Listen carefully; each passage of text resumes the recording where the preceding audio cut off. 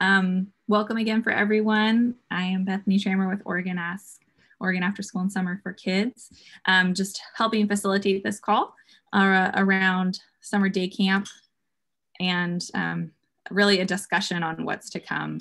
Thanks everyone for sharing your questions. We passed along as many as possible in a slightly consolidated manner to Oregon Health Authority and the governor's office um, ahead of time, but hoping that we'll have time today for people to share also vocally um, thoughts and discussions. We'll have a couple of opportunities for um, people for a, a poll and um, and there will be uh, actually a survey link that we share out.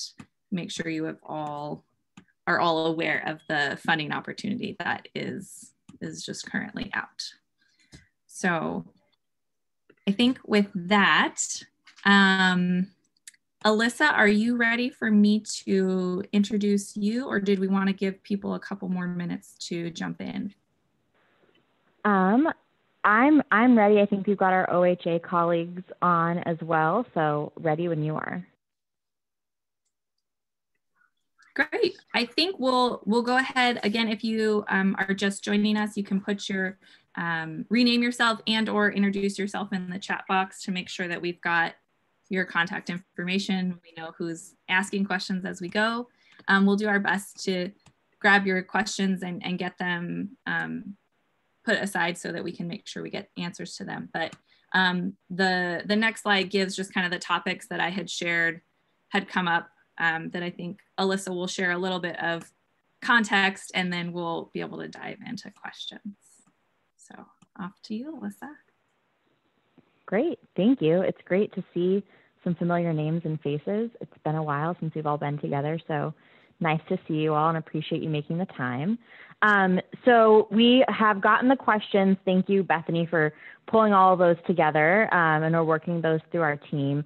Um, I think today I was hoping mostly to kind of hear from you all um, about what you need to see. Obviously, you need to know if camps can operate and in what capacity.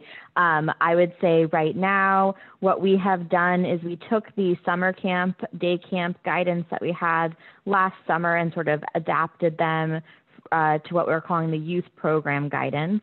Um, and I would say we're not. Um, we've not made any decisions, and we really want to try to create space for you all to give us your feedback and input, make sure um, we're aware of where you need additional guidance, what's working in the youth program guidance, what isn't. Some of that um, is, is clear just in the questions that were shared, um, but, but really wanted this to be kind of a starting point for conversations so that our office, um, for all of you who don't know, Alyssa Chatterjee, Deputy Education Policy Advisor in the Governor's Office, but we're working closely with OHA um, on developing all of this guidance. So, um, as Bethany mentioned, um, there is some funding available. So, um, the start of the year, the uh, Emergency Board of the Legislature set aside about $10 million. Um, and the intention was, was to support um, sort of the summer camp infrastructure um, that we know has been impacted by COVID. We know many of you haven't been eligible for the other grant opportunities that have been made available, uh, the emergency child care grants and things of that nature. And we also recognize that um, camps serve a really important function from a perspective of offering child care, you know, a place for kids to go that's safe and enriching um, during the summer. Um, and we also know that you've all been very disproportionately impacted um, since last summer. We know that there are some of you that weren't able to operate at all. So there is $10 million set aside for that. We're continuing to work um, on our end to make sure that the legislature agrees with sort of the distribution methodology and all of that. But I know Bethany has a link um, that will be shared. So if any of you are interested in that, fill out the survey. It's what we're going to be using to kind of help us determine next steps in terms of award amounts and funding formulas. And I would also invite Marissa, think if there's anything you want to add um, in terms of what would be helpful or anything you'd like to call out, please jump in. Uh, thank you, um, Alyssa. The Oregon Alliance of YMCA's is really grateful to, for the opportunity to help facilitate this and make sure all of the summer camps, day camps, and overnight camps get the support that they need in uh, as quickly as we can get it in their in their hands. So um, we're going to have a really quick turnaround. So everybody who has applied already, please do not submit again. That's important because we don't need to have to sort through all the duplications. Uh, and if you're not sure, just ask others on your staff. So we don't need multiple um, applications. And uh, please be on the alert that you may be sent a follow-up questionnaire for some additional information that we might need, particularly on how we are meeting um, uh, the needs of underserved populations and, and looking at things from an equity lens. So thank you all for quickly responding and being patient once we know what our guidelines are.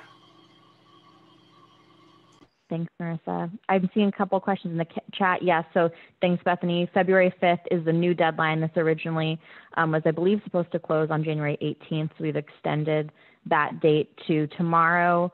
Um, and again, as Marissa said, if you think someone in your organization has applied, please check first. Um, but you'll need to fill out this survey in order to be um, considered for these funds. Part of that is so that we can get these dollars out to you all as quickly as possible, as Marissa mentioned. Um, if we so we need to be able to kind of know what universe you're talking about and all of the programs that need resources so we can start to get those out the door. Um, so I'll try to keep an eye on the chat too, and Bethany, feel free to just kind of jump in if if there's more questions about that operationally. Um, so what would be helpful, Bethany? Do you want to kind of go through some of the questions that you've captured?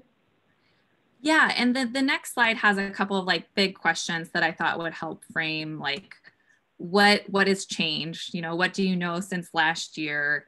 And um, is there a chance things will really change in the next couple months as we were preparing for this summer? Yeah. So I can say at a very high level, and then I'll ask um, if any of my OHA colleagues um, would feel comfortable jumping in. I think we know um, that we're on a, a, good trend in terms of case rates across the state, which is really exciting. Um, and we know that things were better last summer, so we're hoping that's what we're heading towards um, looking in, into this summer. Obviously, no crystal ball. We don't know what's going to happen between now and June, but I think, you know, our hope would be that at the very least, we're op- we're allowing summer camps to operate as they did last summer. Uh, to me, that's kind of the hopeful bare minimum. If we're not also able to expand um, and make adjustments to potentially cohort requirements. Um, I know we're we are of course talking about what can happen with overnight camps as well. Um, so this is really a great opportunity to kind of hear from you and for OHA to hear from you directly as well about um, what you kind of need timeline wise, guidance wise to be ready but um, uh, Shira or Alana or um, Dr. Jeanne, is there anything that you would want to share in terms of what we've learned since last summer? Hi, well, this is Tom. I mean, I think in general, we've learned a lot about um, congregate settings, uh, including schools and, and camps. Um, I think, you know, regarding that second bullet point, I think we are still seeing publications and, and kind of research and experiences from around the world coming in, uh, including from last summer and, and fall. Um, so I think there, I don't know if it's a strong likelihood, but we will have, I think, more more evidence coming coming on. But um, I think we're at the point now where we need to to look at the, the very latest literature and get a sense for uh, what specific to camps uh, can we point to? Because right now we've we've we're pretty familiar with the literature around schools and, and, the general idea that schools are really not a hotspot for transmission, assuming that um, uh, preventive measures are in place um, in terms of masking and cohorting and things like that. So I think a lot of that will apply to schools, but if, or sorry to camps, but uh, there are obviously some significant differences as well.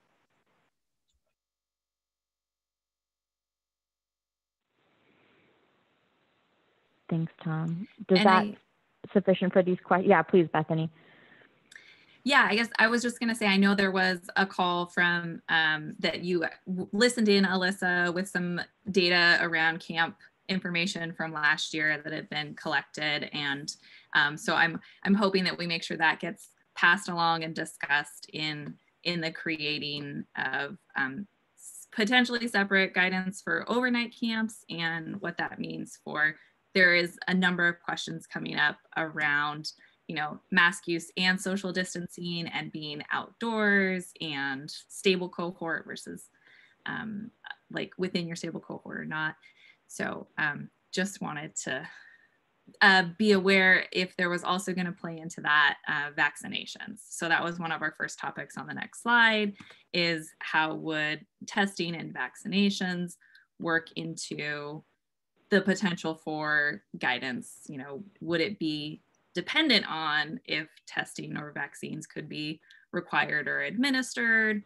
Um, and so it, I know things are going to be constantly changing in that realm as well, but um, just some any more info you can provide on that would be great. Yeah, uh, so we, yes, the data that was shared um, by the ACA has been passed on to OHA as well so that they can review that. Um, and I would say, I don't know, Tom or Shira or Alana, is, if there's a general approach OHA is taking with guidance now that vaccines are starting to roll out, just kind of generally. I know we haven't talked about this specific to summer camps. Well, um, you know, at this point in time, uh, vaccinations aren't changing a lot of, of our guidance recommendations. Um, I think that will happen further down the road once we're getting, you know, closer to uh, herd immunity and having, you know, a majority of people vaccinated. But that's that's still a ways off. But certainly, vaccination is or, and vaccines are are included in our um, guidance and, and considerations. and and Laura's question over here on the side is vaccines still have not been approved for youth. Is is that correct? So. Well, um, none of them have been approved. Uh, just to be technical, they have emergency use authorization, um, and one of the two, I forget which which it is, um, was actually studied in um, ages 16 and up. So uh, some of the older older children, adolescents, would would actually be um, under the EUA from the FDA currently. And that would be Pfizer. Mm-hmm. Yeah. Great. And so, um, yes, one of the questions that did come up that I, I think we've heard um, positively around, but I'm not sure if um, vac- if camps would be considered within the education and childcare sector, um, and what's the likelihood and schedule, if that is true, of getting ensuring that people can get the necessary information and, and signed up. Yeah, so it's a little tricky. I would say in our estimates, um, programs that have been operating, you know, especially whether you're on a school location or you work with a school, those were captured in um, the numbers that school districts put together and shared with us. Um, if you are um, an emergency child care provider, those were captured in the numbers that the Early Learning Division put together. Um, for programs that have solely been summer camps, those are not currently captured in the definition of educator in terms of how we're prioritizing vaccine rollout now. Um, but we do kind of have it to make sure that we are calling out when folks could kind of fall, whether that category gets broadened um, or where it would kind of fall down the road.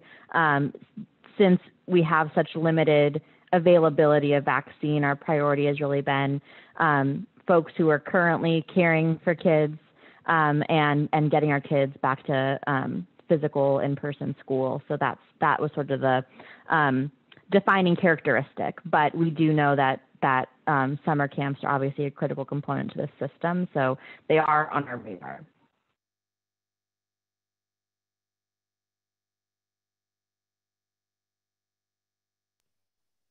And then, um, so onto, I guess, some more questions. There's there was a, a, lengthier list of vaccine questions I can give you if you would like, but um, there's certainly this question around will there be guidance uh, specifically around protocol for either requesting or um, if there, you know, you've said there's not any difference currently in guidance based on vaccination or testing policies, but I know that even last year there was a number of programs that really wanted to be able to ask for testing in order to be able to demonstrate you know, there might have been less stringent requirements on youth in that program, perhaps, let's say.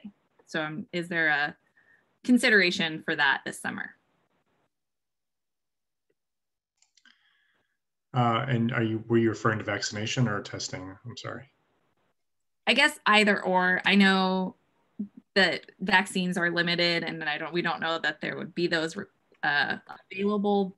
So at the least, could testing be an alternative for demonstrating that there wasn't, you know, that there was limited exposure possible? Yeah, well, it's a really good question, and certainly a lot of um, settings around the country have have been trying to use testing. I, I think in different ways, vaccination and testing are both, um, you know, kind of one of those layers of protection. We talk about like slices of Swiss cheese, and they all have holes, but you put a bunch of them together, and you're going to start to to really block things.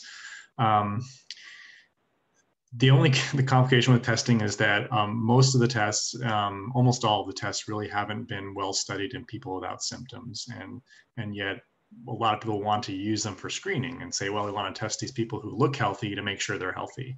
And the, the problem is you can't fully trust a negative result in somebody like that.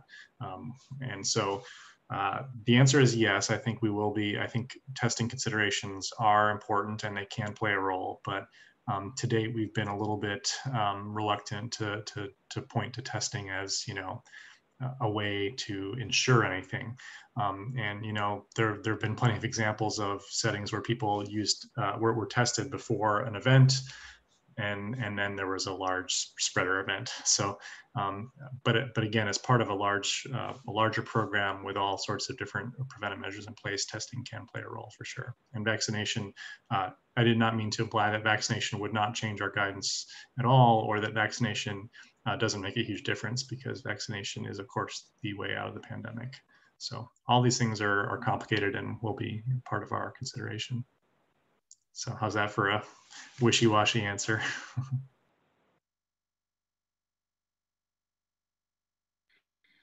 um, I I wanted to note that I put a link in the chat box. If people are willing um, and able to click on that link and fill out just this like two question, since I don't really like using Zoom polls since they normally malfunction, this was the alternative for being able to demonstrate some um, desires on cohort sizes. And then the other question is around age groups. So both of those questions have already come up in our chat box today and came up dozens of times on the pre-survey of what's the likelihood that cohort size, stable group size could go up. Um, will that be dependent on age group? And will this summer day camp guidance, like last summer, cover everyone, or will it remain a youth program co like set and then a child care set? Hey Bethany, can you um, open up that Google form so we can access it? Sure can. But you know what? You're a rock star at multitasking. It is hopefully better now.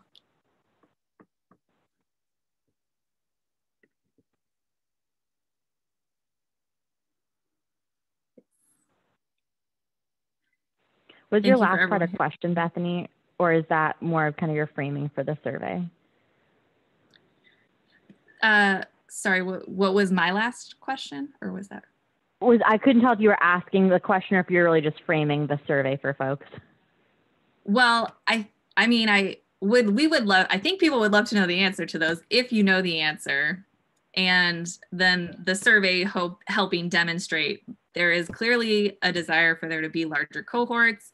And i think for so we'll see you know what people say as far as wanting one set for everyone. Um, but just kind of where you lay currently if this survey might have any um, sway in helping you determine if there is being responsive to the community Yes, absolutely. The survey will be helpful. So thank you for uh, running that. We'll, we'll, we'll take a close look at the responses. Um, I don't think we can give an answer right now about cohort size. Um, you know, a lot of, in terms of uh, some of our other guidance and what's happening with children in schools and, and childcare, um, for most of those, we have, I believe, a 20 person cohort limit. Um, and some of the studies we've looked at recently in schools um, really demonstrating the, the low risk of that setting for transmission. Um, at least one of those had a cohort size of 20. Um, but again, overnight camps, especially, uh, it's a different it's a different environment. So we'll, we'll just have to look at the, the latest evidence and, and make some decisions based on that. But yes, thank you for the opportunity to look at the, the, the feedback.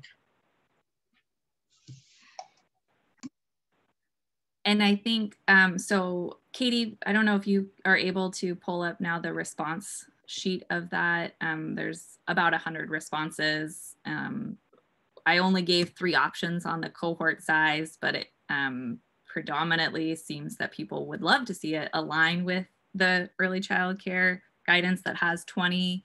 And I know some of the conversations that had happened previously were really around how stable that stable cohort is and if it then is it's reasonable to allow these 20 kids to interact um, considering how frequently they may or may not change you know from one week to the next versus a childcare that is expected to go longer than a week. Um, and then with older youth being um, the the data right at the time showing that younger youth younger kids were less likely to spread. So is that a, a variant that is still on the table for having to require youth programs as they are now to have smaller cohorts so so a couple things about the cohort versus staff you know and i'm, I'm also seeing this so there's a, a, comment here about cohorts and ECC guidance are not also required to keep kids socially distanced. That's not true. We are required to keep kids socially distanced. And the ratio of staff to, to students is one to 15. So with 20 kids, you have to have two staff, which basically moves the ratio, I mean, the cohort size down to, to 10. So it doesn't help necessarily unless everything can get aligned. Thanks, Clay. That's a great point. And I know that question was brought up um, around the language in ECC that um, asks for social distancing, but then it was indicated the way that they talk about creating activities assumed that you're not always socially distant. And I think there was some clarity, they were asking for clarity on is it mandatory, is it recommended, and how does that play out in other settings? Yeah, well, when they when they come in and do their monitoring of us, they're they're looking for the six foot marks on the carpet. They're looking for the six foot de desk spread, and so they they're assuming that there's a six foot spread on all kids.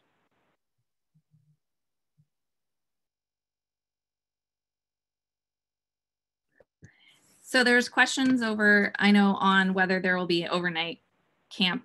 Um, question, Alyssa, did you want to address kind of where that is at currently and going forward?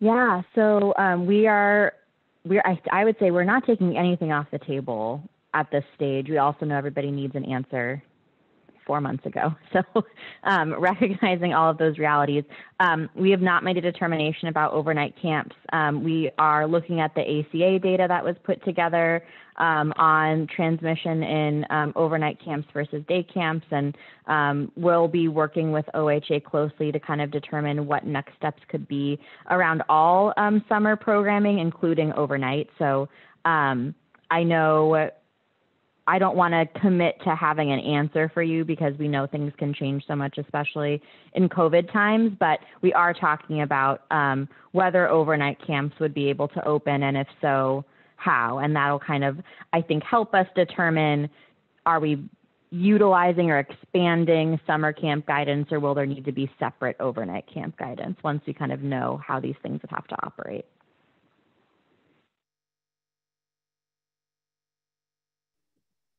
And so I think to that point, there was um, certainly questions on um, what what guidance do we follow, and if there is new guidance coming, when might, might we expect that? You know, can we plan ahead for summer based on based on what?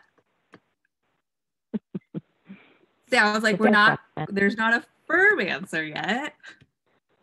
No, um, I mean. Um, we're having i know there were questions. We kind of went from the summer saying you know here's what summer camps are. It's basically school age anything less than school age is childcare. And then we got into the fall created youth program guidance and suddenly anyone younger than 12 and older than 5 so i know we've been inconsistent. And so i would say we've not kind of determined how we're going to take that information and move into the summer. Um, but we are working on um, getting out as much information to everybody as soon as possible. Uh, we know you all need to be able to plan for the summer and be able to purchase what you need to purchase and staff how you need to staff. But we don't. I don't want to commit us to a, a date and then let you all down. So I I promise though to keep working with um, Bethany and our other partners as we keep kind of going through this process. And Bethany, I'm also happy as we're making this progress to get this group back together. I know we met several times heading into last summer, so happy to keep doing, uh, taking on that format. And I think then just um, a recognition and a hope that um, there will be an opportunity for for things to adjust as as we learn. There is a question here from Ken on is there a possibility essentially of moving back towards normal? Like, is there any possibility that masks will not be required in a camp setting this year? Thoughts on that?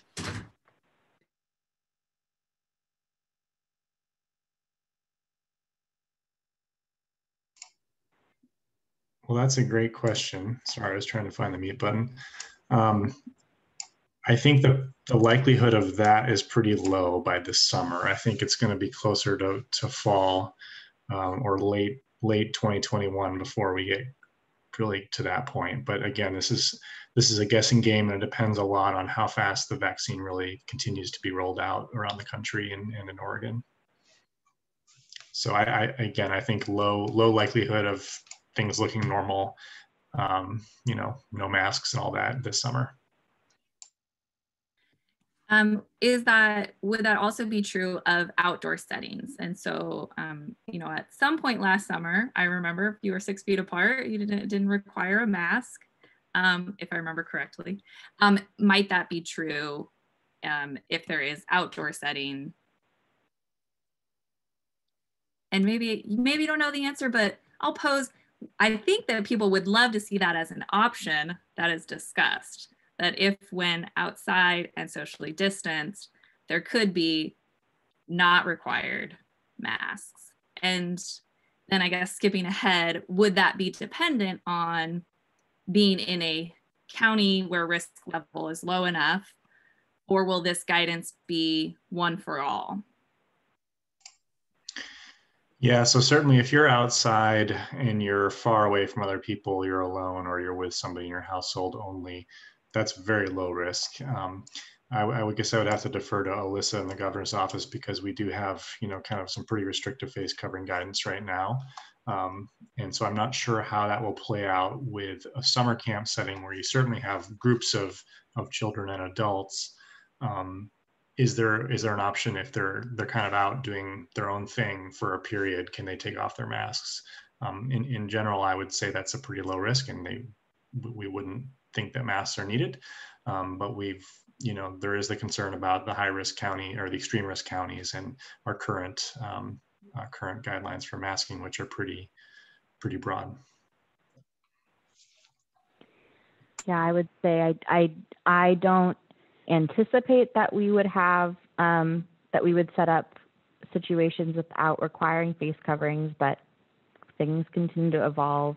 Um, and so, you know, happy to carry that forward as we work through what the guidance will look like um, moving forward. Yeah, I think part of it is just the concern that you've got. If you've got a group of, of, of kids who are kind of playing independently, spaced apart, how how realistic is it for them to actually always be six feet apart? Um, so I think that's part of the the concern there.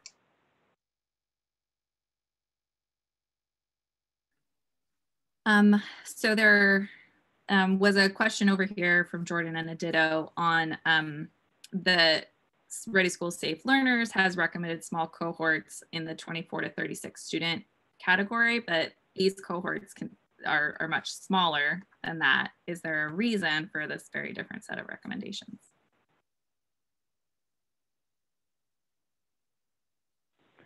Um, I think it's something, and Tom, feel free to jump in. We will flag that. We continue to revise the youth program guidance, so we can take that back um, and take a closer look and, and see if there's a way we can get closer alignment um, or circle back on why we need to remain at 10 and Shira and Alana, please feel free to jump into from the project management end of that if that sounds off in any way.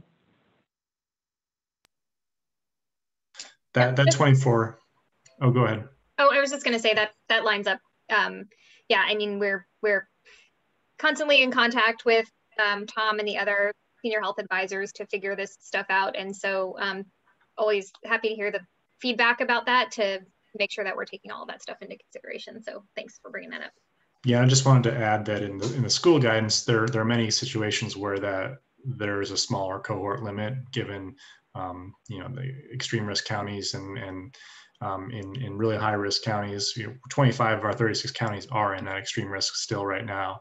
Um, that it's not generally not recommended, or there's going to be pretty limited in person um, uh, learning happening. Um, and so the, the 24 to 36 kind of assumes a much lower level of spread uh, in general. But again, that was uh, that's that's been in place for quite a while, and so we'll we'll evaluate that again as we look at uh, outdoor camp guidance. And just to note, it was brought up, not all camps are outdoors.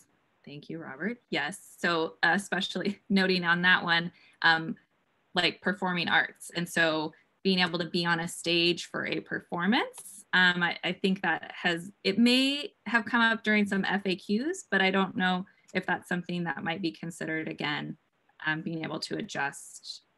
Um, it's hard to be socially distant when you're on a space, a stage together. And Robert, feel free to unmute if you want to share your question, comment more.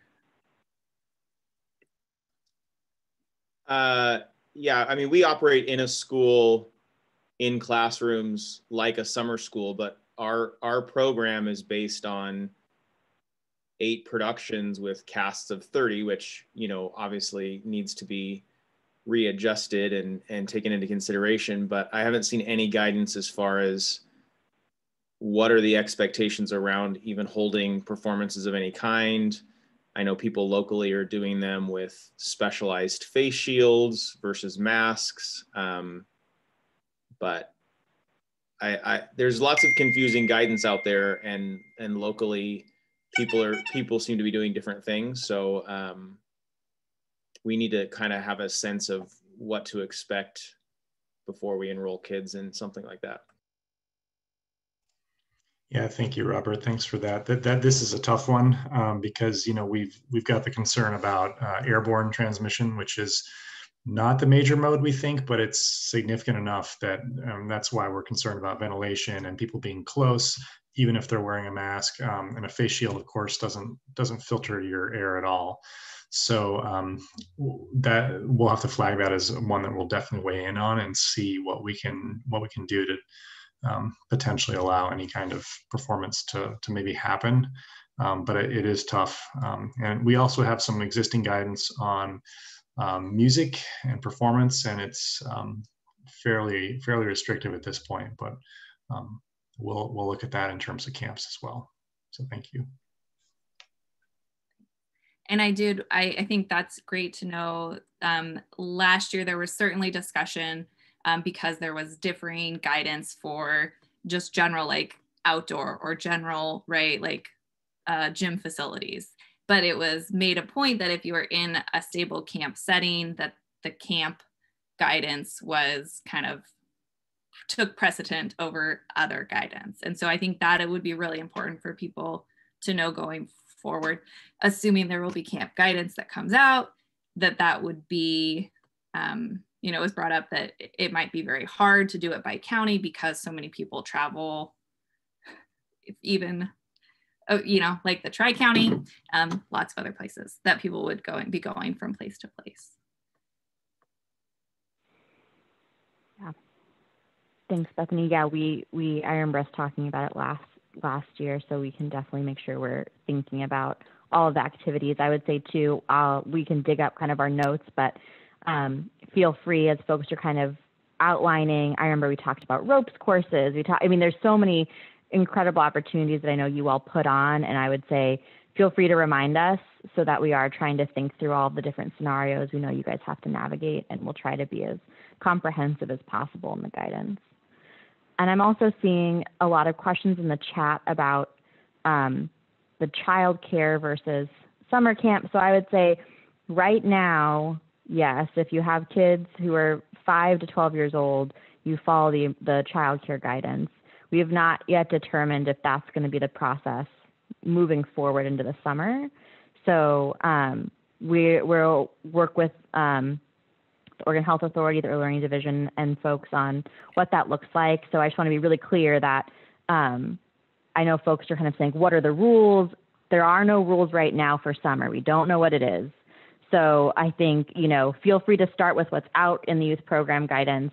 Um, but we, we have not stated anything in terms of what to expect for summer yet. Um, so plan the way you need to plan, and we'll continue to get up to date information out. But I don't want anyone to feel like we're anything is guaranteed at this stage.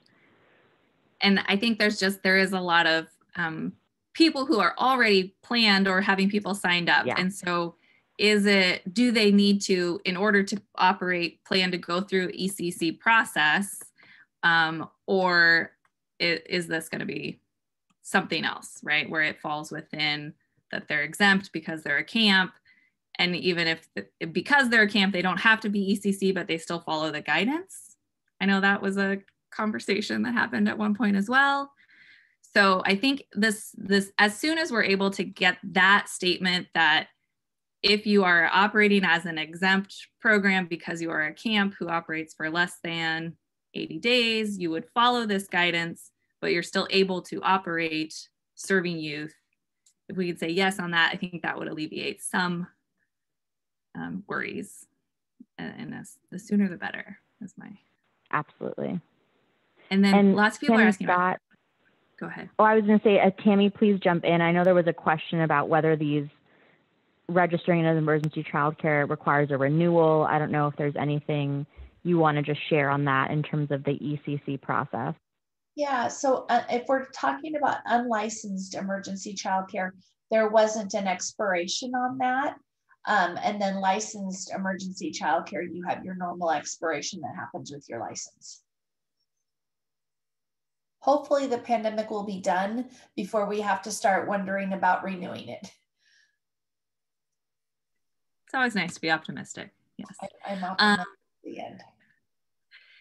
uh, there's been a number of questions. Kathy, thank you for bringing it up again around eating in programs. So I know, I think last year's guidance was really soft around it's best if people bring their own, and that was kind of it. The childcare guidance is definitely a little heftier in that category, but um, it's like, is it allowed? Is eating, do they, and there was someone who shared their example, they sit kids six feet apart, facing away from each other. Tammy, you look like you want to jump in. Well, I mean, the child care guidance doesn't say much. It allows for children to bring their own meals or for the facility to prepare it. And that's about as much as we say. Um, so I don't know where it landed on the camp guidance last year. Yeah, I think we, I know we'd um, revise and um, bring your own, or um, you couldn't do buffet style if you had to do kind of like the family style. Someone had to serve. So I know we did get into a little bit of that last summer. Um, and I, I would say this is going to be part of our review process across the board. So as we look at the guidance we put out last summer, what we currently have in youth programs, um, we'll kind of go through all of those sections of um, operation that we know really differentiate a, a camp from school um, in some ways or childcare in some ways. Yeah, and I would say ECC also wouldn't, I mean, childcare just don't usually do buffet, but they do do family style, and we've said you can't do that. hmm I've seen some really um, interesting and I think great points come up around, um, I guess, how to break down camps and having some possible like affinity groups or work groups on specific types of camps. I know I had a number of questions come in around camps on college campuses, particularly like sport camps or something like that, right? It's a very different than a day camp where you might go for this six hours, the same blah, blah, blah. Um, it's sorry to make that blah, blah, blah. Um, but uh, there's lots of different types of camps. Would it help for there to be some more specifics on different types um, versus uh, a broader that's supposed to apply to all 100 varieties? Well, I think that's one of the challenges here is there's such a diversity of settings and sizes and activities that happen at camps. Um, we we have the challenge is we want to make our guidance applicable um, and relevant to everybody, but we also don't want it to be a you know 100 page document if we can help it. Um, so I think we're gonna have to work on the scoping here and, and how much detail we need and um, how general it can be versus you know having a lot of specifics for different activities. So it's gonna probably be somewhere in the middle, but I, I don't know exactly right now. And i'm as far as capacity wise i'm i don't know if it would be helpful because we've done this in the past gather some feedback and make some recommendations for you know, as stated over here, if then, right? If you serve meals, then this would be our suggested accommodation uh, based on previous, you know, guidance and recommendations. If, if that was provided from certain affinity or work groups, would that be helpful in being able to know whether that might be included in one bulk document or, or separated based on sector? Um, Alyssa, Shira, what do you what do you think? I think that could be helpful. Yeah, I think the more information we have as we try to think about, I, I think the preferred approach is probably one, maybe two documents in part so you're not trying to figure out where you fit. Also, because you translate these into multiple languages. And if we update one, we might have to update 12 more. So, from a consistency perspective, I think the fewer we could have, the better. So that being said, um, understanding the program types you're all operating, I think is helpful for us as we're thinking through all the as many nuances as we can. And then I think, and Shira or Alana jump in, you know, we've continued to do FAQ documents for other areas of guidance. So if we're not able to, you know, get as specific as folks need, working with you all to to have FAQs on those. Thanks. And a lot of good comments in the chat. Thank you, everyone, um, for providing ACA camps info um, and all the kind of thoughts and recommendations on different sectors and, and how we might break up work groups. Um, uh, I did want to call note to the one of the questions around sharing spaces. And I know this came up a lot. And one of the questions that came in was I think there was some back and forth on are you allowed to share certain spaces or facilities within stable groups. Um, and that I think may have changed throughout the from last May until currently, um, depending on what guidance it was. So I don't know where that falls now on is that is that up for discussion? Would you like people to share examples on why or why not they would need to be able to um, share spaces right? What what is the space and the thing that they're sharing would it be helpful yeah, to have any please examples? tom yeah um, so in general i mean the whole point of the cohort or the stable group is to to minimize um, you know contact between different cohorts that said if you have a single bathroom for example um, I, I I'm not too concerned if multiple groups are using the bathroom as long as they're not using it at the same time and there's you know appropriate um, cleaning and things like that. It doesn't. We're not super concerned that um, you know you would need to do like a full disinfection of a bathroom between cohorts um, because again we, we think the virus is mostly spread by droplets and in the air. So good enough ventilation, good enough spacing and time between groups is probably sufficient. Um, but again, we're trying to minimize the cohorts actually mixing um, and being in the same space at the same time. So that's usually our been our approach.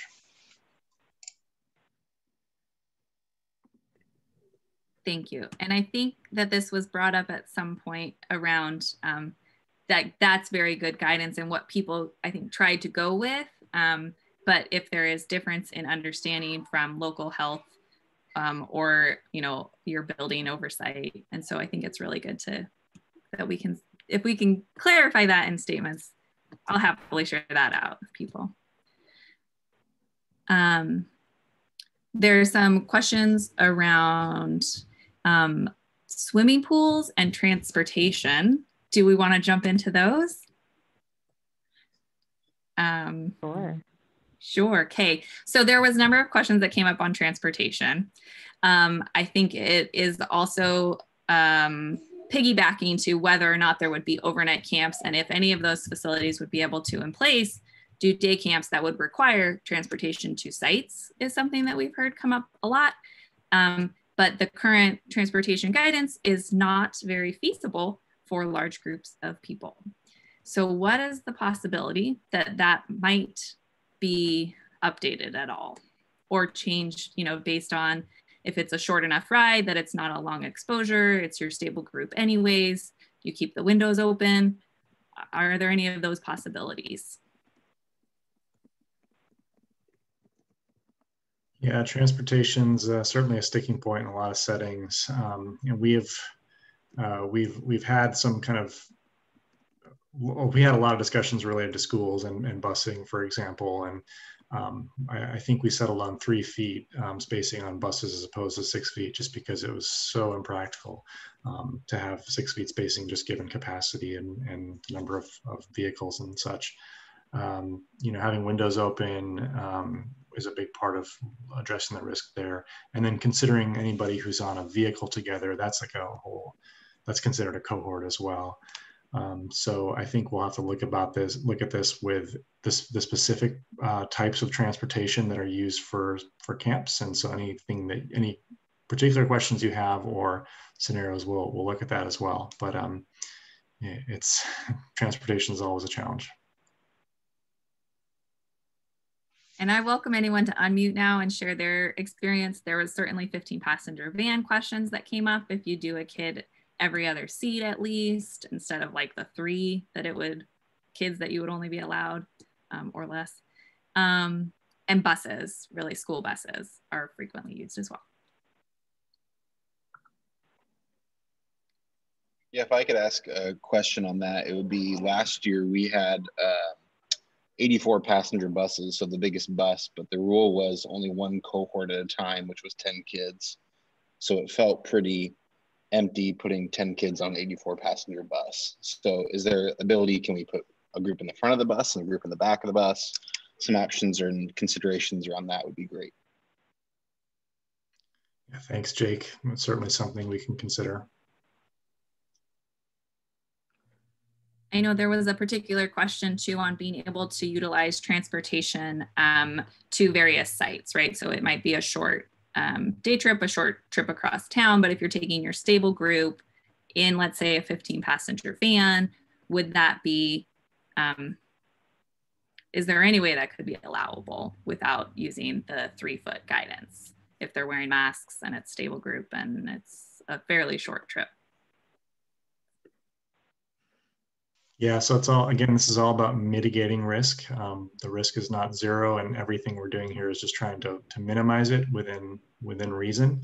Uh, and so, um, if a cohort is on a single vehicle, um, wearing masks, windows are open. Potentially, they could be closer than they would we would otherwise want them. You know, so that's that's one one way to to look at it.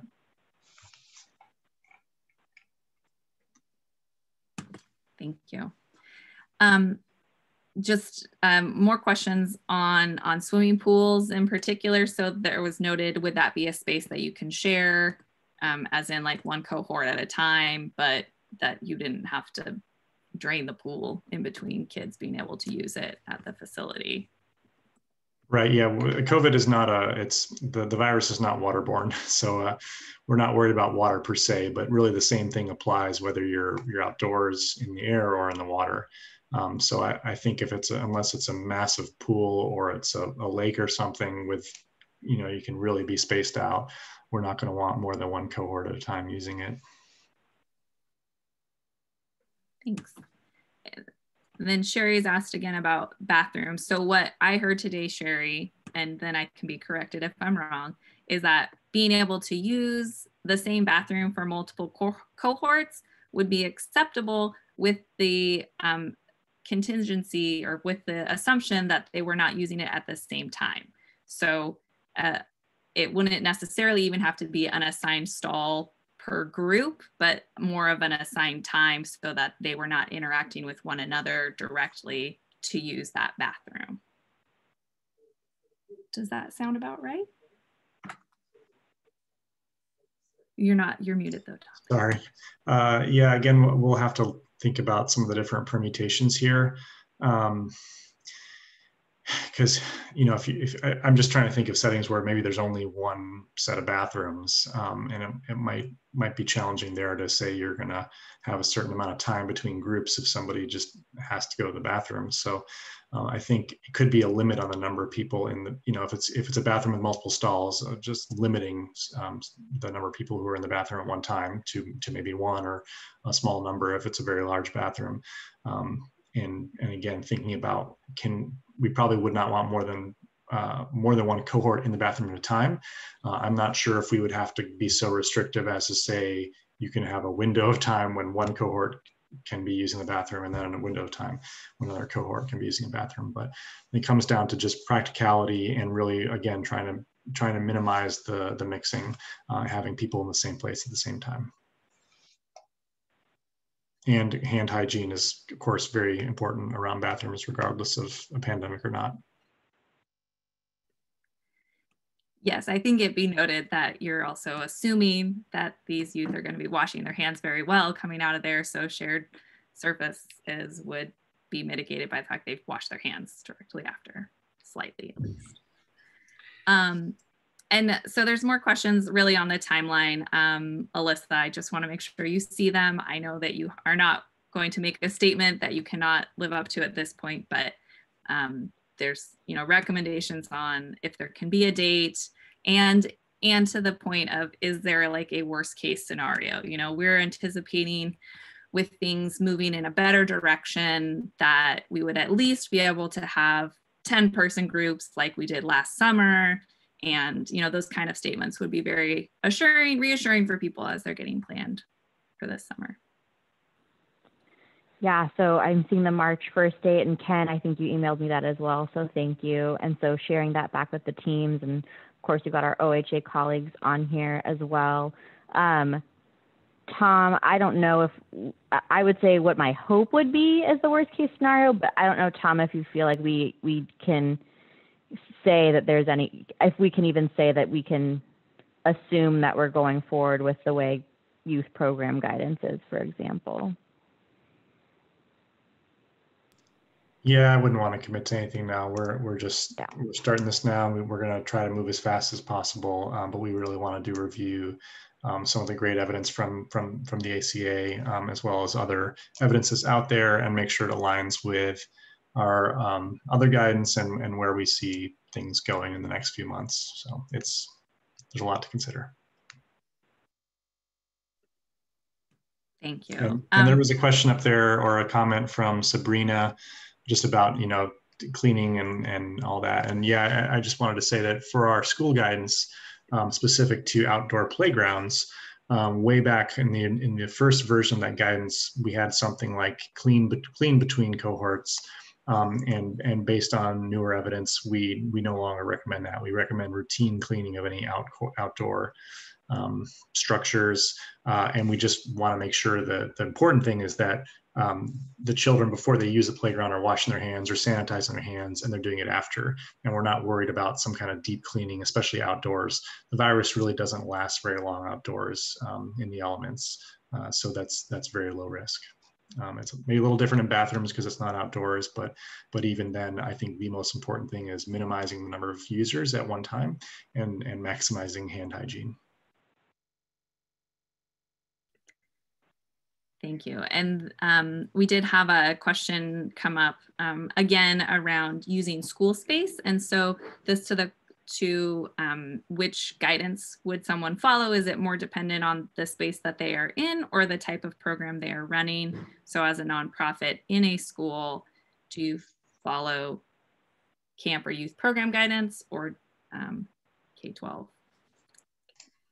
I think that would be the it would it would they would not be following the school guidance, um, especially I'm, I'm hoping that this scenario would assume that the school is not in session when they're using the school building. Um, so yeah, it would it would probably be um, specific guidance to the activity as opposed to the the building.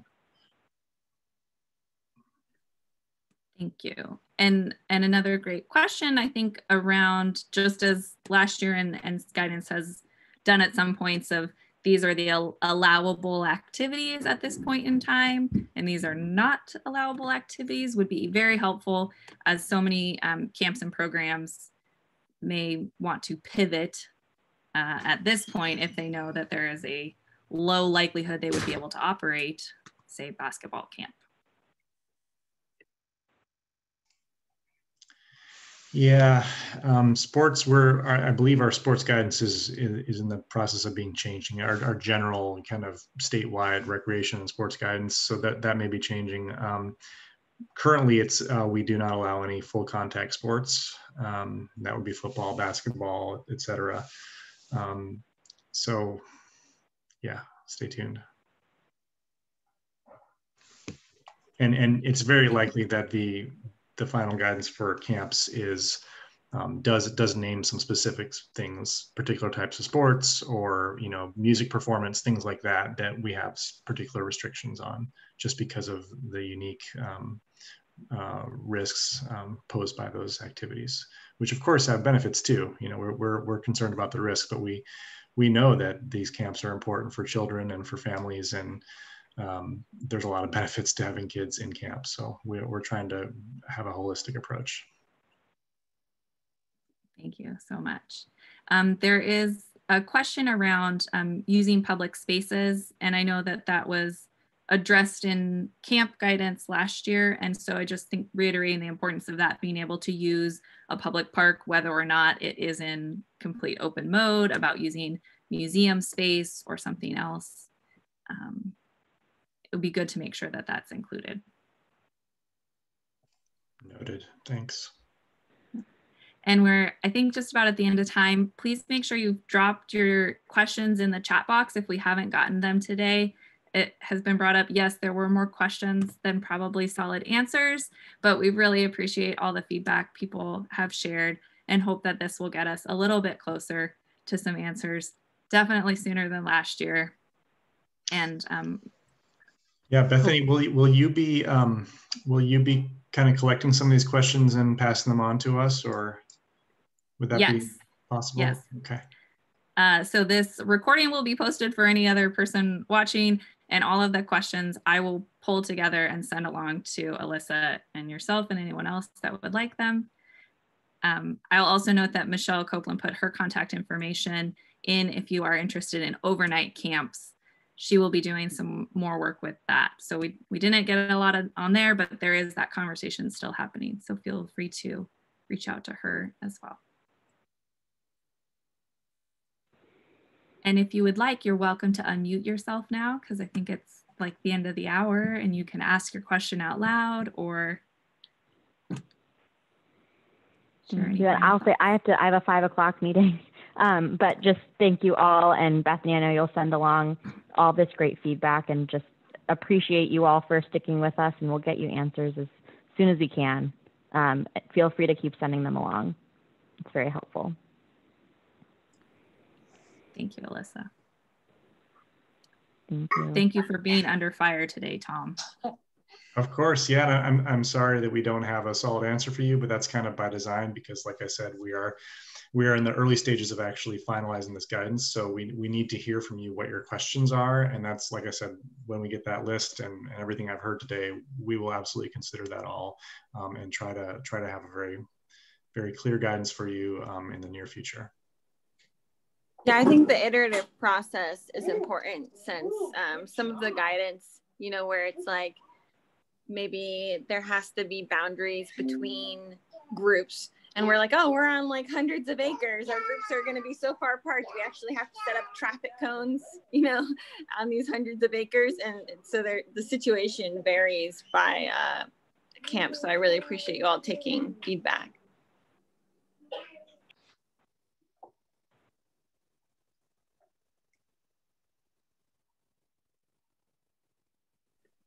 And if you didn't yet fill out that survey um, around the funding opportunity, please do. And feel free to send more questions our way.